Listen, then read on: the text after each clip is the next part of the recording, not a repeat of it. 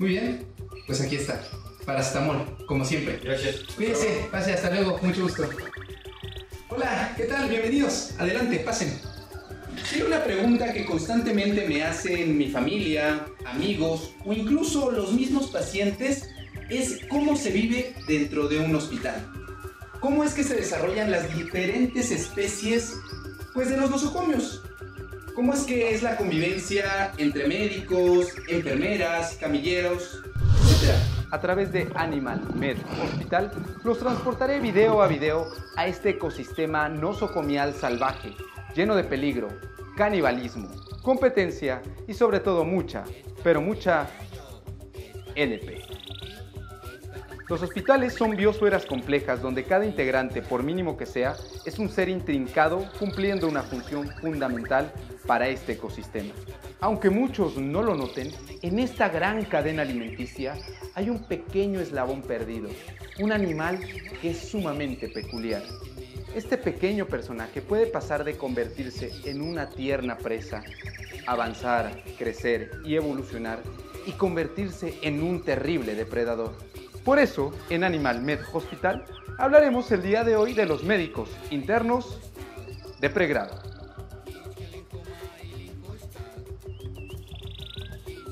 Los internos son manadas que migran semestre con semestre de las facultades de medicina, que son biosferas que los malcrían, haciéndolos creer que son los reyes de la selva, cuando en realidad son unos gatitos simples y hogareños para que se enfrenten a la realidad de la jungla hospitalaria.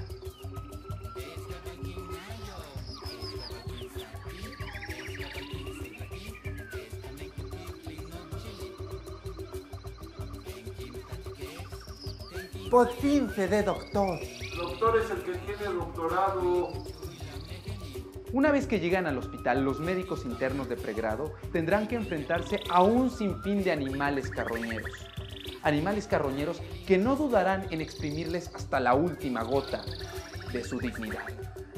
Desde las enfermeras, pasando por los adscritos, incluyendo a los residentes que querrán someterlos a la LP.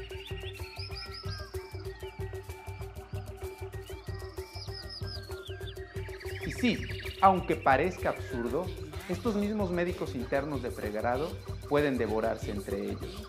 Si bien en otros ecosistemas como la taiga o la tundra, perro no come perro, aquí, en el hospital, eso no aplica. Para poder entender mucho mejor esto, es importante saber que existen dos tipos de MIP, los MIP 1 y los MIP 2. Los MIP 1 son unos pequeños animalitos indefensos y muy dóciles que se acatan a lo que dicen sus superiores, mientras que los MIP 2 son estas bestias salvajes que no se dejan doblegar ante ningún animal y que incluso al menor pueden atacar a los de mayor rango.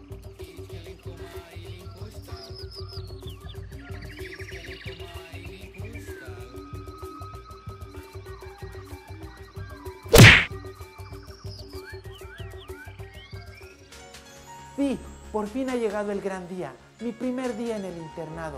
Por fin comienza la carrera para convertirme en un gran cardiocirujano pediátrico torácico.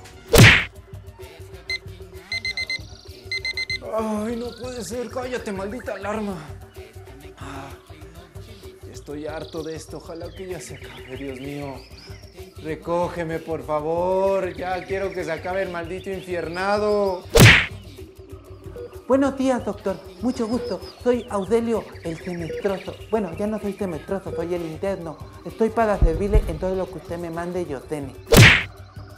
Rufino, ¿qué horas son estas de llegar? Son las 8 de la mañana y tenías que estar aquí a las 7. Ay, es que había un buen de tráfico. Antes da gracias de que llegué. La neta, incluso ni pensaba venir. Soy tu R2, háblame de usted. Ay, sí, lo que digas, lo que digas. Qué gran estetoscopio me compraron mis padres. Por fin podré escuchar todos los ruidos cardíacos. Este será mi mejor aliado en el internado.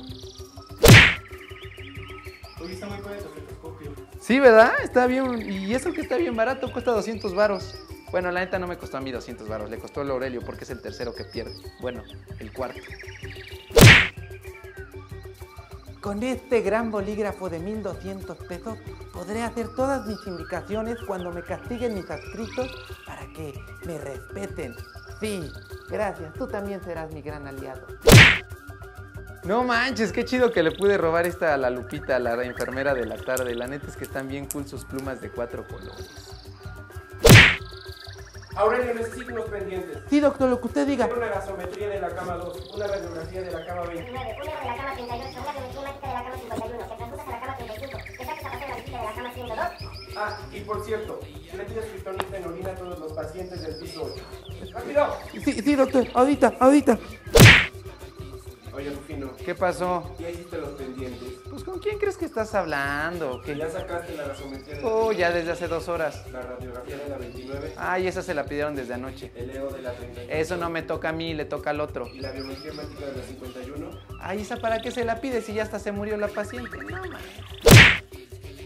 Doctor, ya llegué y todos mis pendientes. Ahora necesito que me vayas a traer unos cafés al Oxxo, una torta con Doña Pelos y para el día de 4 una coca de manzana. Ok, ¿usted no quiere nada, doctor? No, Oh, sí, tráeme unos chocorroles de arándano. ok, ahorita lo traigo, doctor.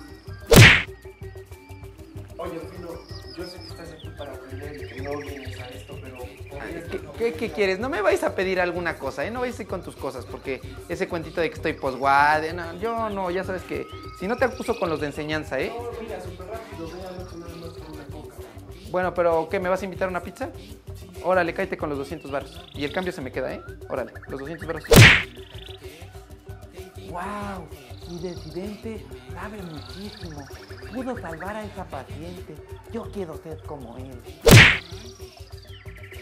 ¿Qué crees que le hicieron al R2? Lo castigaron, pero eso se lo tiene bien merecido. por- Si le están diciendo que no meta a la paciente y el muy güey va y la opera. Si no le habían pedido tiempos de coagulación. Bueno, sí, yo sé que no se los tomé, pero pues ¿para qué la opera si no estaban listos? Está bien, güey. Ojalá nunca vaya a ser como ese tipo. Hola Aurelio, también soy NIC 1 y quería ver si me enseñas a ver gasometrías. Ay, ojalá hubiera alguien que me enseñara a ver gasometrías. No te preocupes. Vente, yo te explico y si quieres te enseño incluso a ver también la venosa. Órale, vente, jálale para acá. Aurelio, ya son las 2, ya abrieron el comedor, vamos a comer. Eh, no, es que todavía me faltan varios pendientes y hay un paciente muy grave. Primero está la vida de los pacientes. Oye, ¿qué onda? ¿Ya abrieron el comedor? Porque ya tengo un chingo. Sí, Rufis, pero tenemos varios pendientes. Ah, no, no me salgas con esas tonterías. Mira, en el MIP 2 tienes que aprender una cosa. Primero el diente, después el paciente y hasta el último el pendiente. Así que vámonos por el pozolito porque hoy sirvieron con todo y tostaditas. Hoy ha sido un día muy pesado, pero no importa, porque medicina es mi pasión. Hashtag bata, hashtag paracetamol, hashtag nunca duermo, salvando vidas. Oye, Jacinto, ¿dónde está Rufino? Que no lo veo y le faltan un buen de pendientes. Uy, Rufi ya se fue desde hace rato, está de posguardia.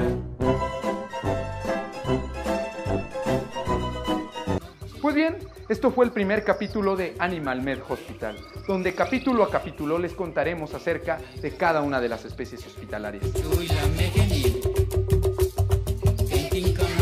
No se olviden de seguirnos en todas nuestras redes sociales y recuerden, el hospital no es como lo piden.